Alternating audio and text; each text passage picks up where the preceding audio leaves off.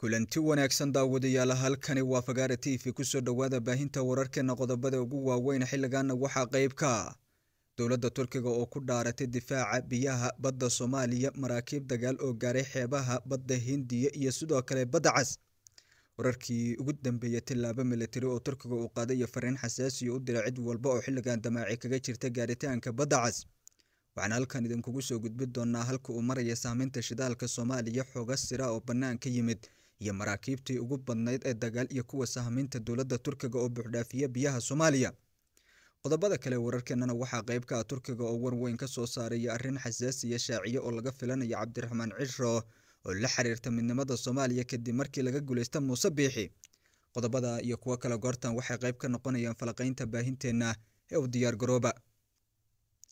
isku soo noqod wanaagsan daawadayaal waxaad ku soo dhawaataan qodobada aad daawateen iyo kuwo kale aynu gudagalno ku birbagana youtube saaxiibada nagu xirana qayb ka noqo si aad u hesho warar warbixino iyo dhacdooyinada kala duwan ee arrimaha soomaalida ee caalamka qusayana goor walba halkaani ku daaqaadno.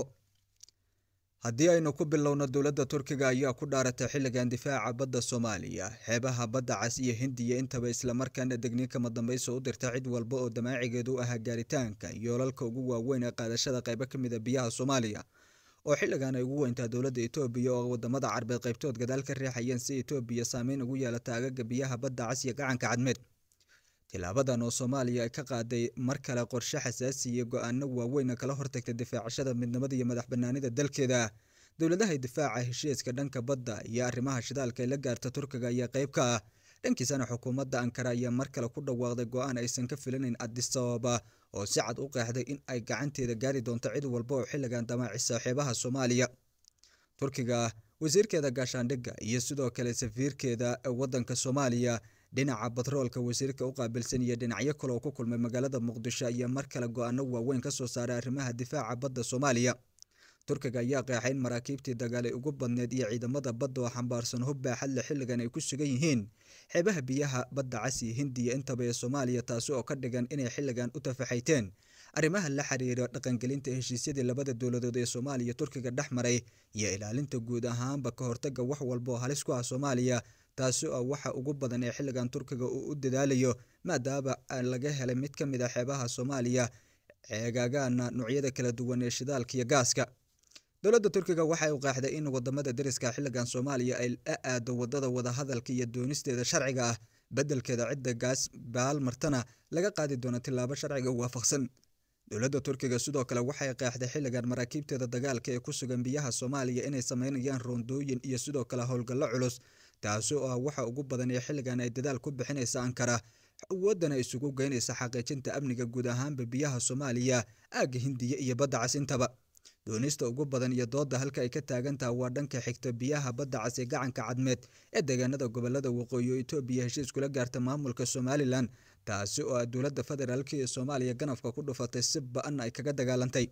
Xukuumadda adisababa way ogtahay inaysan awood militari mid siyaasadeed iyo doonisteeda iibsashada ah midna aysan ku heli karin balse abiy axmed ayaa ahaa mid uu istusaya caalamka boorkicin aha etoobiya boqol iyo labaatan milyan badla-aan ma ahaan karto taasina way soo gabagabowda maadaama waddo sharci darra u maray oo ay diiday etoobiya inay ila dhaqaale iyo mid ganacsiba xilligan la xeerato soomaaliya taasi oo ah waxa aynu rabno waa bad iyo beri aanu yeelanno. Taasi meel adag ayay dowladda dhexe isaga soo xirtay fariin kama dambaysana turkiga ayaa u diray cid walba oo cadowga soomaaliya ah wuxuuna qeexay inay markan wixii ka dambeeya gacanteeda gaari doonto turkiga. Turkiga waxay shaacisay in ciidamadooda badda iyo cirka ay ugu dhiman doonaan soomaaliya si la mida badda turkiga loo difaaco taasi oo qeexaya heshiiskii axdiga labada dowladood dhex maray. Arrintan waa mid xasaasiya oo mar kale albaabada ka soo laabi doonta damaacigii iyo doonista abiy axmed waxaana gabalka u dhaca rajo walbo etoobiyaanka ay ku taamayeen ee aga biyaha badda cas marka laga soo taga iskaashiga soomaaliya elitariya iyo masar oo dhankooda ku dhaartay etoobiya ma rabo inaysan gaari doonin biyaha badda cas waxaa ka soo hormara qorshaha turkiga oo xilligan adkeeya difaaca biyaha soomaaliya maraakiibtii dagaal ay ugu badneedna haatan ay ugu sugan yihiin xeebaha dalkeena tilaabadan deg dega ee la qaada ayaa ah fariin cad oo loo diray cid walba oo xilligan u xanqaltaagaysa doonisteeda sharci darrada ah. Etoobiyana waxaa gadaal ka riixaya dowladda imaaraadka iyo garabyo kala duwan oo qayb ka ah waddamada qadiijka carbeed taas oo doonisteedu ay tahay xilligan waxa suloonin inaysan ka dhicin soomaaliya. Wadamada carbeed waxay dadaal badan ku bixinayeen in etoobiya garab iyo sidoo kale xeeba ka hesho soomaaliya. Aragtidaana waa mid aasanta oo xilligan suurtagal ma noqon karto balse dadaal walba ayay bixinaysaa xukuumadaha kala duwan ee waddamada carbeed dhanka kalena waxaa war deg dega laga soo saaray oo turkiga uu ku dhawaaqay xilligan in ay filanayaan arinta la xiriirta inuu tilaabo adag oo ka dhowti uu qaadi jira muuse bix uu qaado. Hogaamiyaha deegaanada gobollada waqooyi ee somalilan ee dooran cabdiraxmaan maxamed cabdulaahi ciro dowladda turkiga ayaa sheegtay inay ka rajeynayso madaxweynaha cusub ee somalilan cabdiraxmaan maxamed cabdulaahi ciro inuu soo celiyo wadahadaladii somalilan iyo sidoo kale soomaaliya cir ayaa guul weyn ka gaara doorashadii madaxweynaha ee ka dhacday saddex iyo tobankii bisha nofembar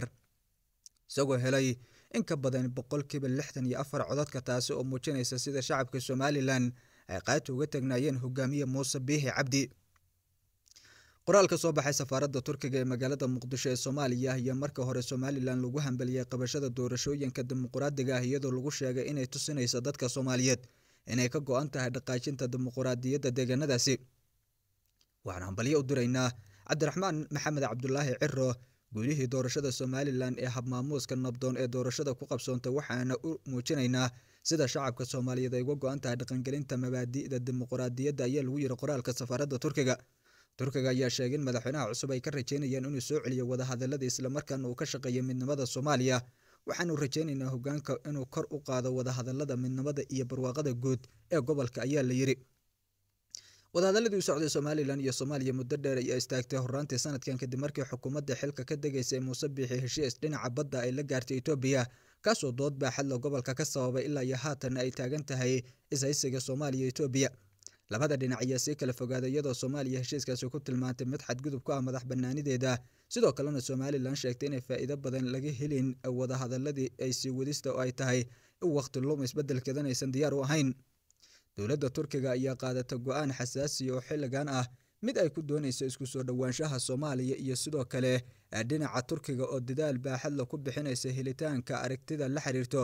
in ay dhaqangal noqoto xilligan qorshayaal badan oo labada dowladood ee turkiga iyo soomaaliya ay ka shaqeynayaan si loo soo celiyo wadahadalada labada garab.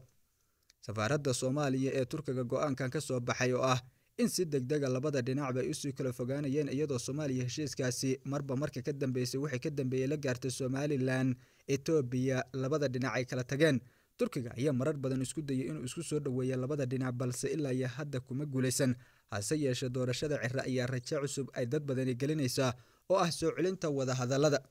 ciro markii u tartamaya xilkan ee ololihiisa ayuu ka hadlay wuxuuna sheegay in doorashada haddii uu ku guulaysto ay tahay labada hadalada soomaaliya iyo sidoo kale somalilan mid wakhti badan luminaysa lamana oga inuu xilligan go'aan ka jilacsan kii muuse bixi uu ku wajihi doono.